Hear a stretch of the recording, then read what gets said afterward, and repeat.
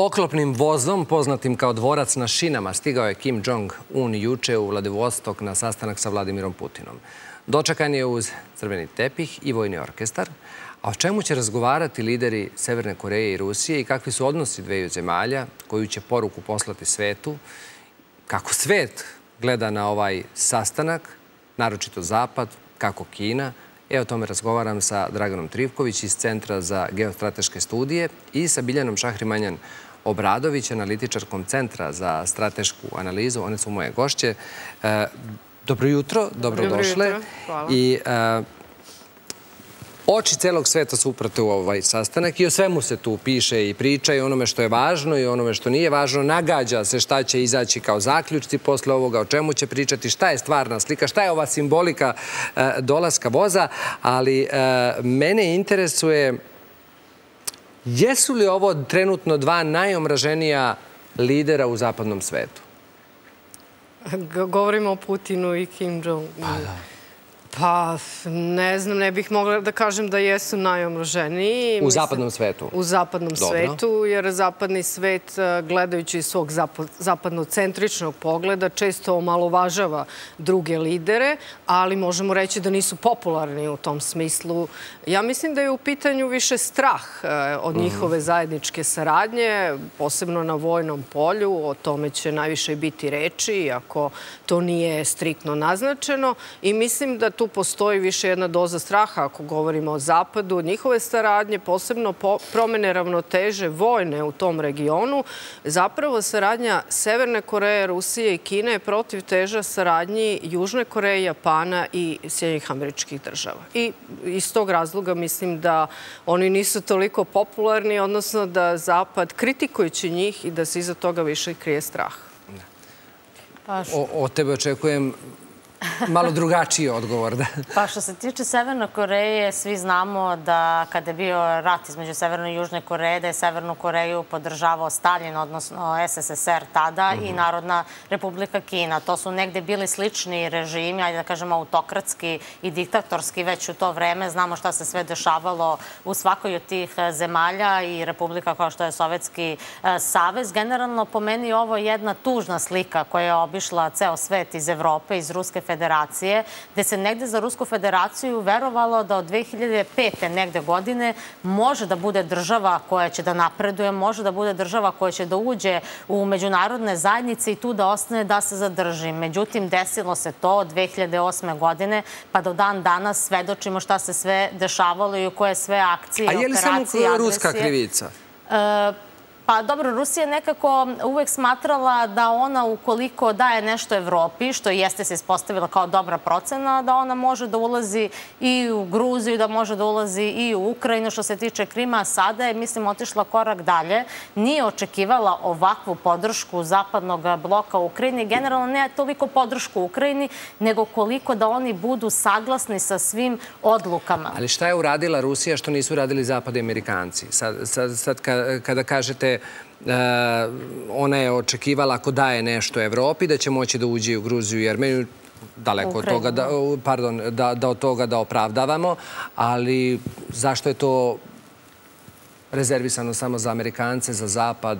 Pa vidite, negde Sjedine američke države kada su ulazile u bilo koju vrstu pomoći, oni su negde išli da pomognu tom narodu. Oni nisu išli u te zemlje da njima obezbede, na primjer, bolje životni standard. Oni su išli tamo da ih odbrane od agresora, da ih odbrane od terorizma i da ih odbrane od uništavanja njihove države totalno. A od čega su branili Srbiju bombardovanjem 99. Pa to je bila drugačija priča. To nije priča koja se desila danas za sutra. To je priča loša politika i loše odluke koje su bile 90. godinama, koje su ostavile svima ranu i do dan danas, evo mi vidimo što Jeste, se ali dešava. pitanje, e, sad da, da se ne vraćamo na tu temu, nego samo hoću da, da gledaoci razumeju, da. dakle, zašto ekskluzivitet na nešto ima Zapad Amerikanci, nemaju Rusi. Ne trebaju da imaju ni jedni ni drugi, ali ovdje- samo hoću to da shvatimo. Da, zato što je ovde pitanje, ja mislim isto, loših odluka Ruske federacije da krenu u ovu agresiju, Iz kog razloga? Zato što negde Vladimir Putin nekoliko puta u poslednjim svojim obraćanjima spomenuo da ovo u stvari više nije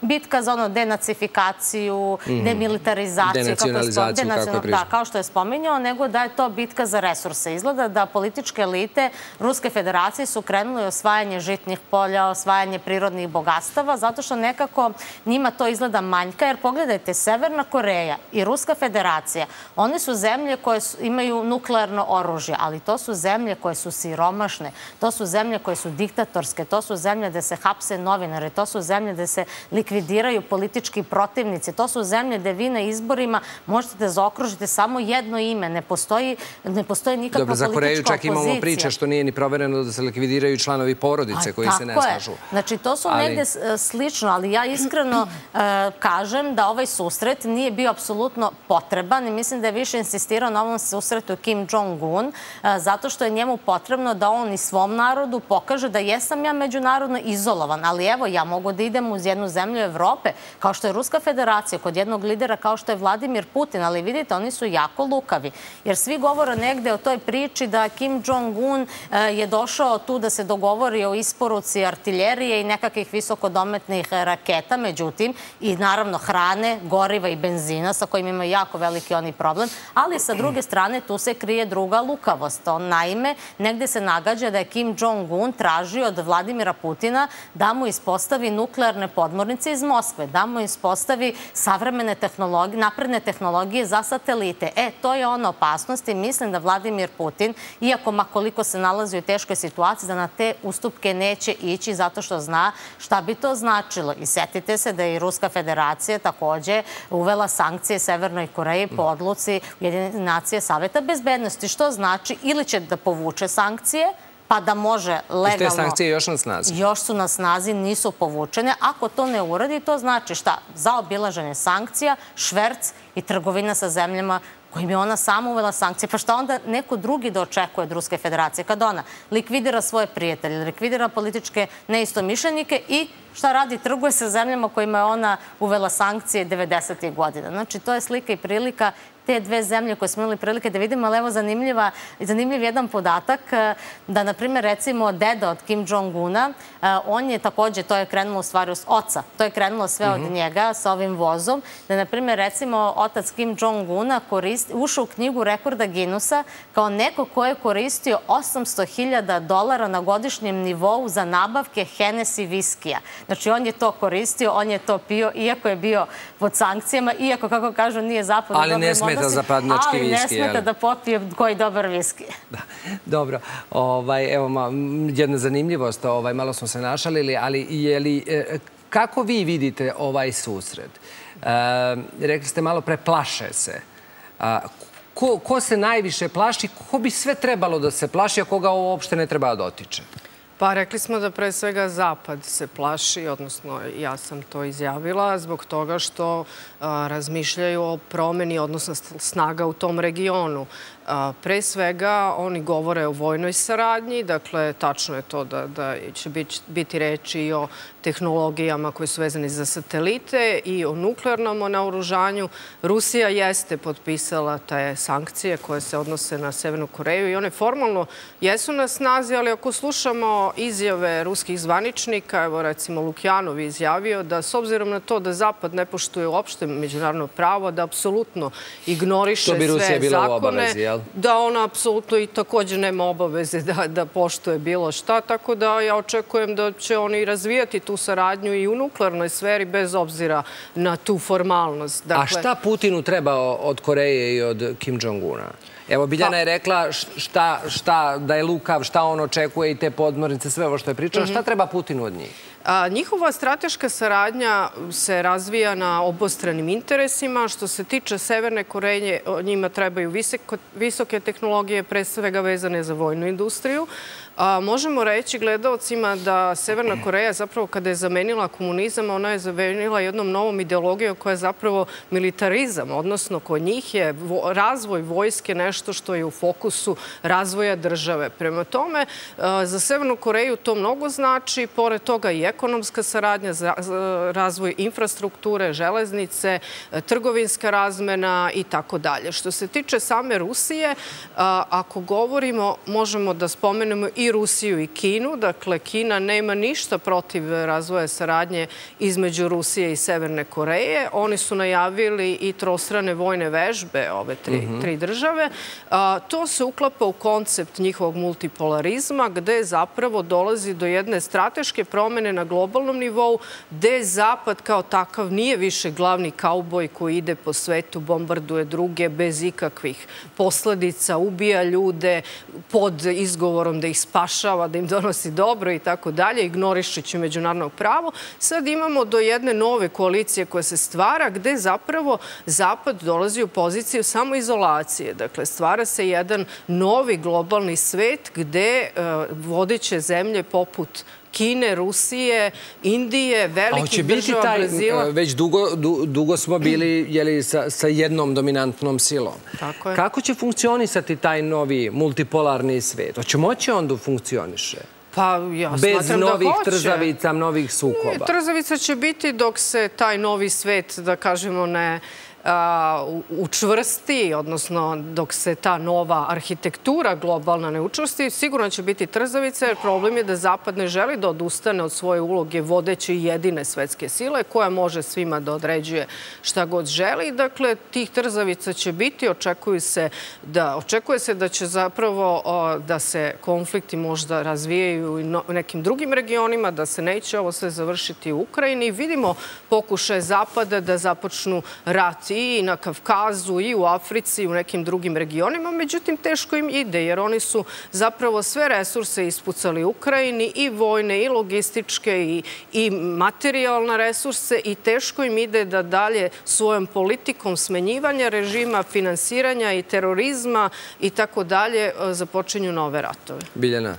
Je li vi mislite da ide teško zapadu po ovom e, pitanju? Generalno, što se tiče Sjedinih američkih država, oni su najveći borci protiv terorizma, jer su se oni prvi susreli sa tako velikim e, terorizmom, terorističkim aktima, setite se 11. septembra, i da su oni uložili najviše novaca kako bi se iskorenio terorizam kako u Evropi, tako i drugim delovima sveta. To je nesumnjivo tako. Mnoge države su krenule sa njima u tu borbu, pa a nakon toga kada su videle da to mnogo košta, povukli povukle se i Sjedine američke države su ostale same i dosledne. Oni jesu ostvarili neki određeni uspeh, međutim nije lako, niti je možda ikada moguće da se terorizam u svetu skroz iskoreni. Ali evo, posle te 2000, ali moramo se vratimo na da. Putina i Una. Posle te 2001. E, to je bio sad mi nećemo ovde da govorimo opravdano, neopravdano izgovor da se napadnu Irak i Afganistan. I videli ste na šta liči Irak danas, a Afganistan šta su radili posle 20 pa- godina, oni su se povukli preko noći, opet su došli ti da talibani, opet su je... Jel funkcioniše danas Afganistan onako kako bi trebalo da funkcioniše država? Moram da kažem da u sve te akcije su, da je bila uključena i Ruska federacija. Sve te misije, pored i drugih ostalih evropskih e, zemalja, znači nisu to cijeljne američke države same krenule u tu borbu, ali u Afganistanu su negde ostali e, sami, jer dok su oni bili tamo, ljudi nisu bili ubijani po ulici, nismo imali ove terorističke napade. Oni nisu tamo otišli njima da sade cveće za boljim životom i pa za da, demokratijom. Znači, ali vi ste ih navikli 20 godina na nekog prividno normalnog života i prividno normalnog mira i kad ste otišli opet e, je pa zadesila to, e, Vidite, to je ono što vidimo da gde su Sjedinje američke države, tu može da vlada mir, a kada oni reše da odu, pogledajte šta se sve dešava. Oni talibani koji su sada obučeni u one njihove nošnje i drže e, kalašnikove svojim rukama, ti isti talibani su bili u odelima i cipelama i sarađivali su sa Sjedinim američkim državama. I onda su odjednom, kada su oni otišli, osetili tu slobodu da mogu da izvršavaju terorističke akte, da mogu da ubijaju svoje ljude, da mogu da vešaju žene po ulici, da nemaju nikakav prava i tako dalje. Znači, to vam je bukvalno ono što su pokazale Sjedinje američke države. Gde smo mi, može da vlada donekle koliko toliko mir, a kada mi odemo, pogledajte šta se dešava u tim zemljama. Tako da negde vidite i pitanje šta je sa Ruskom federacijom oko ovog susreta. Ja se vraćam na ono pitanje. Ako Ruska federacija traži pomoć od Severne Koreje, traži pomoć od Irana što se tiče naoružanja, šta se dešava sa Ruskom namenskom industrijom? Gde je njihova ta čuvena proizvodnja? Gde, su njihovi, gde je njihovo to svo naoružanje koje oni govore da imaju pa u izobilju?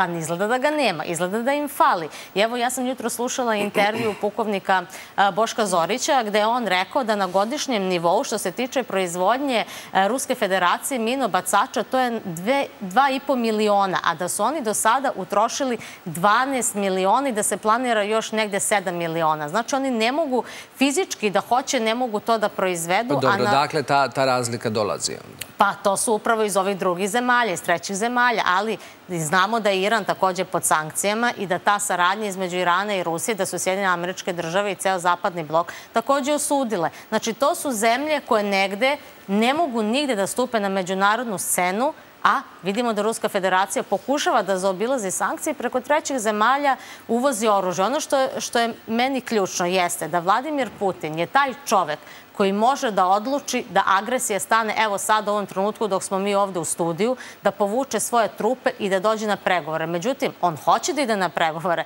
ali da ide sa svojim uslovima, mm. sa svojim zahtevima, sa svojim prohtevima, a zaboravlja da je on zemlja koja je osuđena kao agresor u celom svetu. Znate, mnogi pričaju, ne znam, 300 zemalja nije osudilo agresiju, ali to je 300 zemalja od kojih Nisu to svetske ekonomije, to nisu supersile, to su jako siromašne države, to su Zimbabwe, to je e, tamo Kuala Lumpur, znači koje nisu bitne u ekonomskom svetu ni za Rusku federaciju. I ovo meni iskreno ništa ne čudi ova poseta, jer setimo se da je Vladimir Putin ugostio i Ruskoj federaciji i Ugo Čaveza i Gaddafija, znači to su sve te ličnosti koje su negde bile u civilizovanom svetu takođe nepopularno ili omražene, kako pa, se vi rekli. Dobro, ali sad, ok, nećemo izmisliti to, možemo sad da je komentarišemo, da, da raspravljamo ovde i, i šta ta civilizacija pod okriljem civilizacije radi, ali ajde da se vratimo na, na, na Putina i, i Kim Jong-una. Upozorenja su već stigla iz e, Sjedinjenih država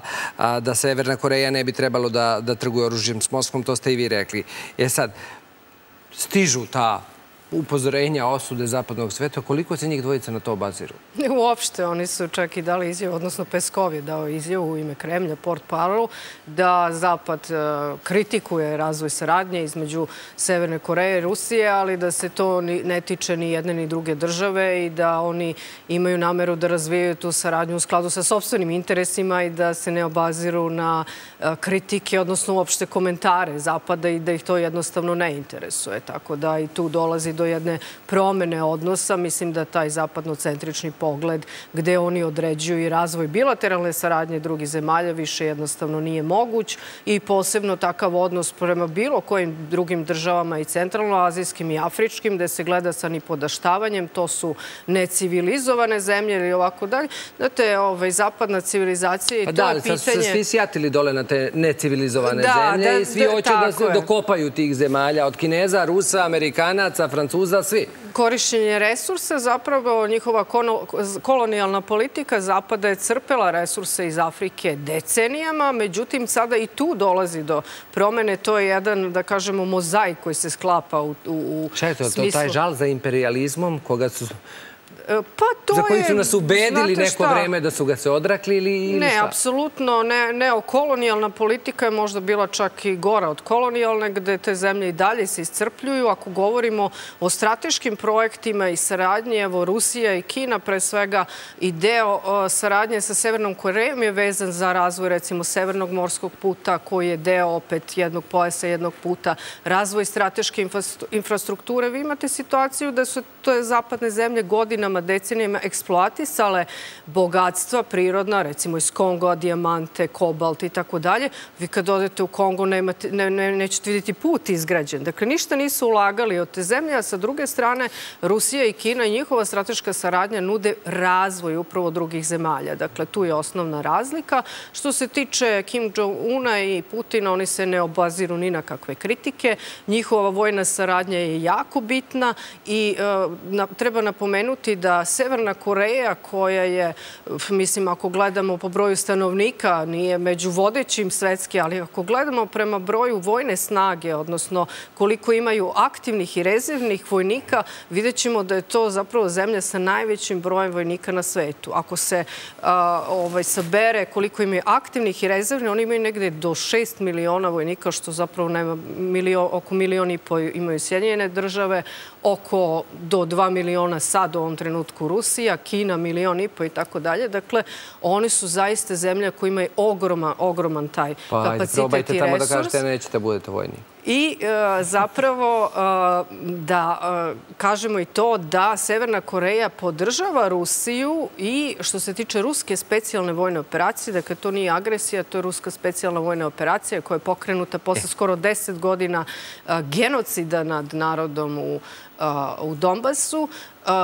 Kim Jong-un podržava i dao je zvaničnu izjavu da podržava rusku vojnu operaciju. Pored toga, Severna Koreja je priznala i Krim kao sastavni deo i neotuđivije i Ruske federacije. Mm. Dakle, njima obostrano ta zaista saradnja mnogo znači i to je nešto što potpuno... I još tu kad se uzmu ove najavljene probe, jeli sa Kinom? Vojne, tako je vojna saradnja između Kine, Rusije i Severne Koreje. Tu je Iran takođe kao jako važan faktor koja je takođe vojno značajna zemlja i sila i to sve, ako saberemo, potpuno menja tu odnos snaga pre svega na vojnom polju. Dobro, ali o tom odnosu snaga koji se menja i u ovom susretu mi imamo vrlo, vrlo su informacije šture. Što, što je to tako? Okej, Sastaju se sad, da se vratim na početak razgovora, jesu li ovo dva najomraženija lika zapadu, vi ste rekli nepopularni. Da sam vas pitao prvog, sigurno biste uzeli ovaj drugi izrazi, ali, ovaj, ali to je sad manje bitno. Interesuje me zbog čega vi sad nemate informacije sa sastanka ova dva zvaničnika? E, pa to upravo jeste razlog zato što su to, to je sastanak i susreti lokalnog karaktera na tom forumu nije moglo Ali vidite da su oči celog sveta uprte u njega, pa iako je lokalni. E, zbog tog nuklearnog potencijala i zbog te moguće negde razmene tehnologija, zato što sankcije koje su uvedene Severnoj Koreji jesu pod prvom tačkom što se tiče tog nuklearnog naoružanja. Znači, to je prva i osnovna tačka zašto su sankcije uvedene, jer malo, malo pa Kim Jong-un i njegovi e, preci su testirali to nuklearno oružje od kojih je stradalo mnogo ljudi e, samim tim u njihovoj državi, ali kada pogledamo što se tiče konferencije, eh, ono gde je negde Vladimir Putin i se obraćao, moram da kažem, tri sata je govorio na jednom određenom panelu gde on bio i voditelj i moderator eh, i domaćin. Ja sam gledala i taj panel uživo, gledala sam i uživo njegovo obraćanje i negde se stiče utisak da on kao da kaže Ukrajina nije krenula u ofanzivu, a onda kaže Ukrajina ipak ima veliki gubitak u ofanzivi. Znači on tu malo manipuliše tim informacijama, manipuliše malo brojkama. Malo je ofanziva, malo nije. Malo jeste, malo nije. Znate, ono što se tiče što je bilo na forumu, evo što je meni zapalo uh, u oči, jeste da je šef VT B banke dao jedan određeni predlog, a to je da se zabrani e, izvoz ruske rublje. Što nam govori o tome da on kaže mi smo krenuli u dedolarizaciju, a naši građani rublju pretvaraju u evre i dolare i iznose napolje. Samim tim imaju manjak rublji na svom tržištu. Znači, to je jedan određeni problem i predlog koji on predlože. Da li će to usvojiti? Ja mislim da definitivno hoće, jer vidite, sve ono što je zajedničko za Rusku federaciju, za Kinu, za Severnu Koreju, za Iran, šta je? To da su diktatorski, autokratski režimi, da nema ljudskih prava, i šta, oni imaju mnogobrojnu vojsku, imaju nekakvo naoružanje, ali šta, oni su siromašne države. Prosečan stanovnik Rusije ili Kine živi jako siromašno, ja ne pričam o Moskvi, o Sankt Petersburgu ili o Soču, ja pričam o ovim drugim delovima, pa sam taj, isto Vladi, Vladivostok gde je taj forum, znači tamo nije e, bogata regija, znate, znači to su sve siromašne države, njih objedinjuje, objedinjuje jedno. Međutim, Ruska federacija je tu negde bila najbolje pozicionirana, ali samim tim sa ovom agresijom Rusijom je svoj međunarodni status, onaj kapacitet negde umanjila. E, samo mi e, još želim, ako možeš to kraće da mi... Kako na sve ovo gleda Kina? Šta smo rekli? Da, rekli smo Kina podržava razvoj saradnje između Severne Koreje i Rusije, već je bilo reći o tome da i za vreme, posle drugog svetskog rata i za vreme Korejskog rata su i Kina i Sovjetski savez tada podržavali Severnu Koreju. Dakle, to je jedna tradicionalna saradnja. Zapravo, Severna Koreja je bila u lošoj poziciji u onom momentu kada Kina i Rusija nisu bili u dobrim međunarodnim odnosima. Mhm. Međutim, u ovim uslovima kada Kina i Rusija razvijaju stratešku saradnju, Severna Koreja je u jako dobroj poziciji. Oni su najavili i zajedničke vojne vežbe i zajedničku vojnu saradnju, tako da to što se tiče Severne Koreje apsolutno je uspeh, a što se tiče Kine, njima se to uklopa, rekli smo i u koncept e, ekonomskog razvoja, odnosno strateški e, projekat Jedan pojas, jedan put. Da, ali ono što je zajedničko, još jedna stavka Kim Jong-una i Vladimira Putina jeste da oni ne mogu nigde da putuju. Vidimo i na samitu G20 šta se desilo, da Xi Jinping tamo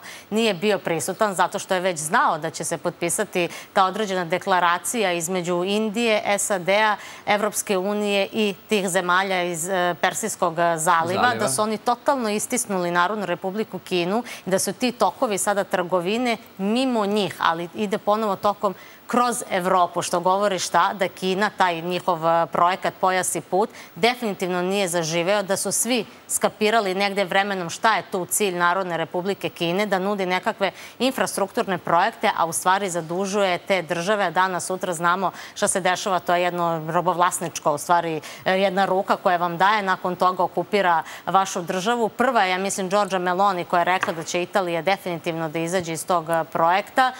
tako da vidimo da Indija ja mislim da je sada po prvi put nakon toliko vekova dobila svoju jedinstvenu priliku da može sa svojim kapacitetom koje njihova država ima da uđe na, na tržište Evrope. Ali ono što je izašao podatak jeste da je Apple kompanija već počela da prodaje svoje proizvode koje se proizvode u Indiji, što znači da se smanjio kapacitet proizvodnje u Narodnoj Republici Kini i da mnogi će sada u stvari da ovi preuzimaju tržište. i tržište da ode u Indiju isključivo i zbog zbog ovog potpisa, e, potpisanog dokumenta i deklaracije. Jeste htjeli, Dragana? Pa ne, hoću samo da kažem da su i Kina, Indija i Rusija deo BRICS-a i da oni strateški sarađuju. Indija mnogo profitira sada od kako je Evropska unija uvela sankcije Rusiji. Zapravo Evropska unija kupuje sada naftu rusku preko Indije, gde mm. Indija gde plaća više struko više.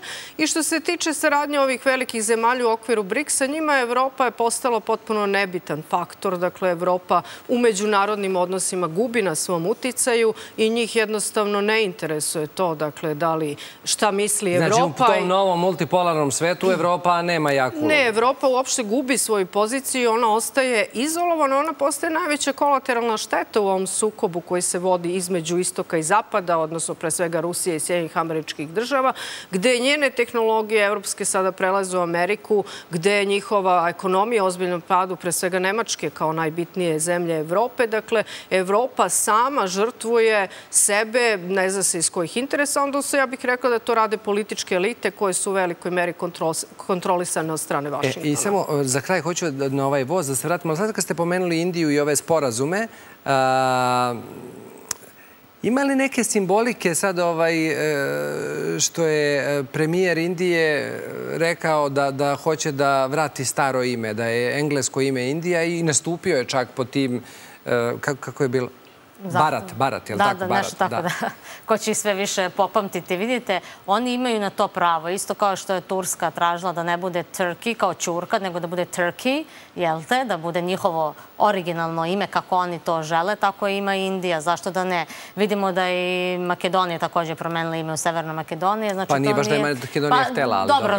Dobro, ali zbog razloga i svojih budućnosti okay. svoje države. Ali vidimo da se to dešava u poslednjih nekoliko godina. Zato što je rečeno da je to dobro za nju, zbog da, toga. Pa da, to su njihove vlasti odlučili, njihovo rukovodstvo, što mi ne treba da se mešamo u njihove uh, odluke, nego da ih prihvatimo. Isto tako Indija ima svoje definitivno uh, pravo, zato što taj uh, sada projekat koji je napravljen i dokument koji je potpisan, mislim da će dobro doći i našoj državi, zato što će se možda i Srbija naći na tom putu takođe trgovine. Hajmo i mi da negde izvučemo neke neki određeni benefit iz svega ovoga, iz cele ove agresije, jer vidite, onaj ko obećava multipolarni svet ili neki novi svet, ja mislim da on ne seje smrt, a Vladimir Putin seje smrt sada u centru Evrope, u središtu Evrope, tako da ne znam kako će izgledati taj novi svet kada prve tačke, na primjer recimo što se tiče Ali se nadate će biti bolji od ovoga? Dobro, da, ali vidite, to je meni čudno zato što prve tačke tog novog multipolarnog sveta jesu poštovanje međunarodnog prava i poštovanje ljudskih prava, što nema ni Kina, što nema ni Rusija. Dobro, Indija je tu siromašna država, ali i tamo su određena ljudska prava negde na, na mhm. granici, ali vidimo da je u zemljama BRICS-a, koje su deo BRICS-a, takođe vlada jako loših odnosa. Indija nema dobar odnos prema Narodnoj republici Kini, Kina nema prema Indiji, Rusija je sada izolovana. Što se tiče Brazila, možda im je ona jedina svetla tačka tu, ali uglavnom su to, opet ponavljam, negde siromašne države. To je ono što je ključno, jer negde je češki premijer, ako se ne varam, rekao da nije bitno u 21. veku koliko vi imate vojnika, koliko vi imate tenkova, nego koliko imate prirodnih bogatstava i koliko imate saveznika. I to se pokazalo i pokazuje se da izgleda on definitivno jeste u pravu. Mislim da on ima više iskustva. Ali vidite, Biljana, da, da je bitno, pa jeste bitno, ali kako se kome obije o glavu? Evo, Afrika ih ima, pa vidite šta se radi. Komadaju je sad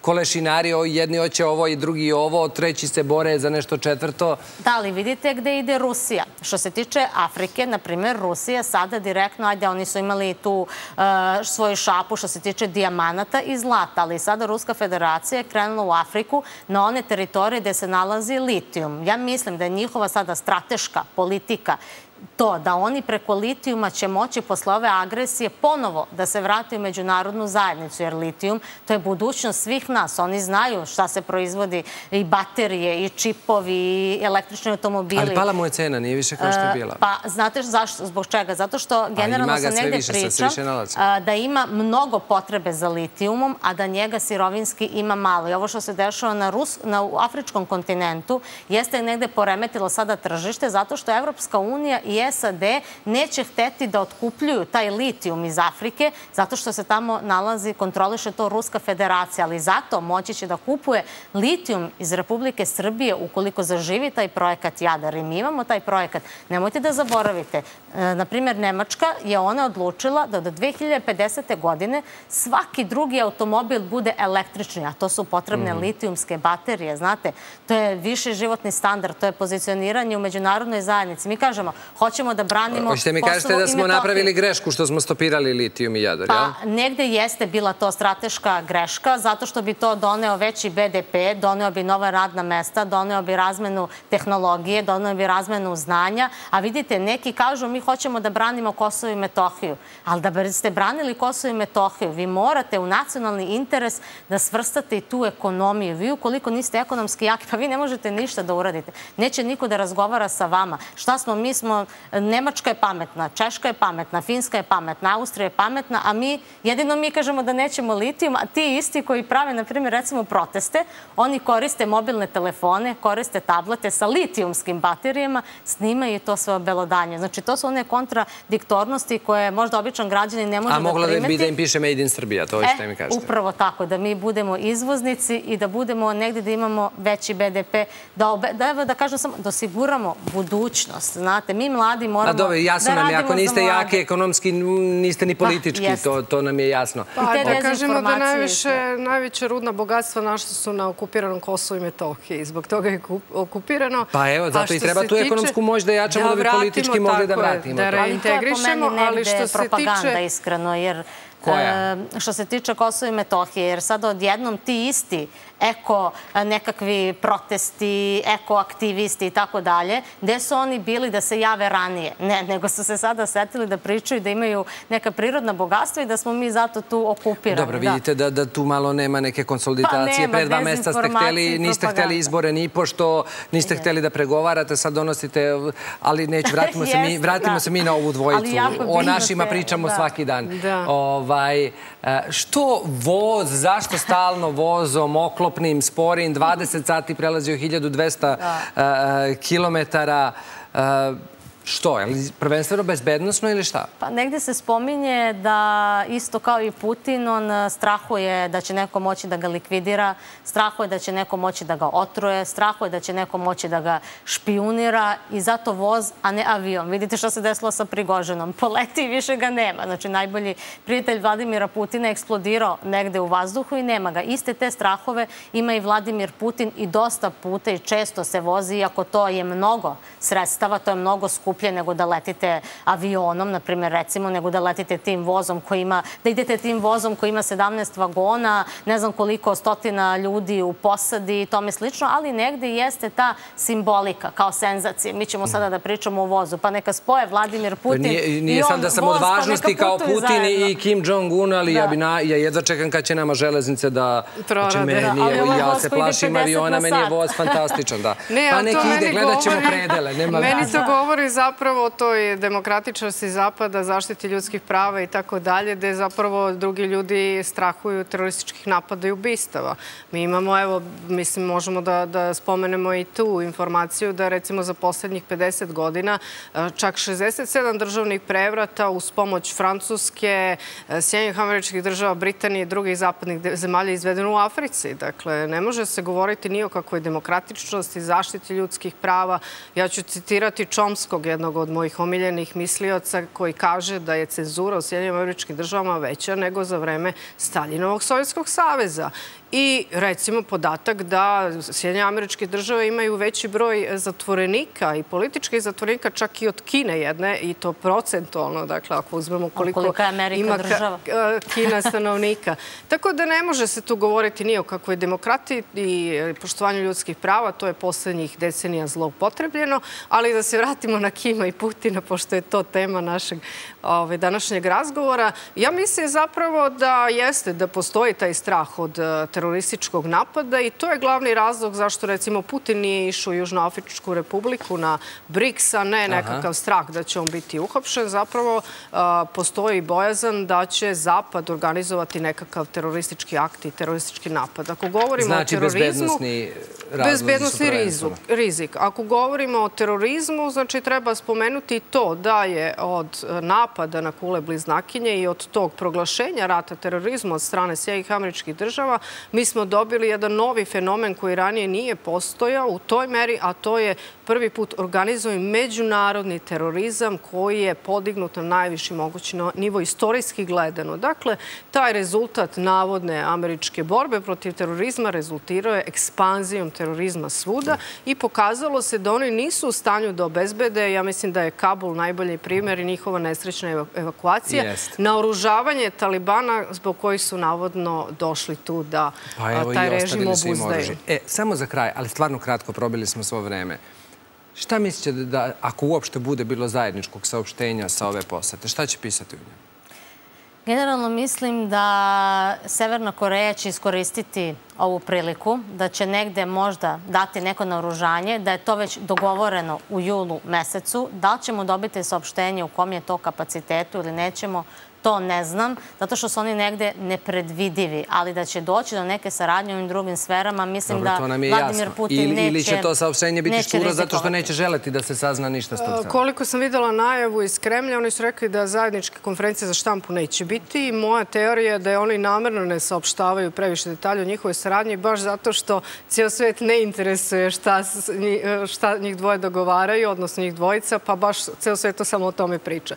Dakle, oni idu na to da im još više zagolicaju maštu iz tog razloga, mislim da uopšte ne daju Što bi rekli mi televizijskim rečnikom, tizuju ih, jel?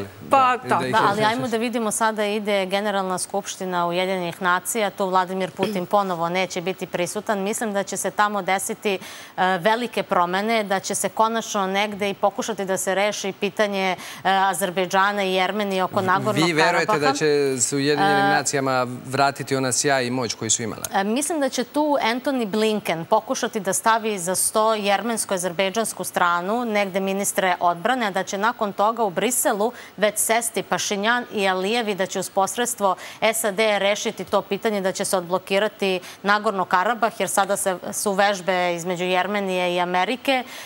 Rusija tu ništa po tom pitanju ne radi, tako da mislim da ona je tu izgubila definitivno kontrolu i moć. Da to je jedno veliko pitanje koje mora veliko i isto ostavlja, da se treba reši. mi puno vremena za to veliko pitanje za neku Jeste. drugu emisiju. Mnogo vam hvala. Hvala, Hvala hvala vama.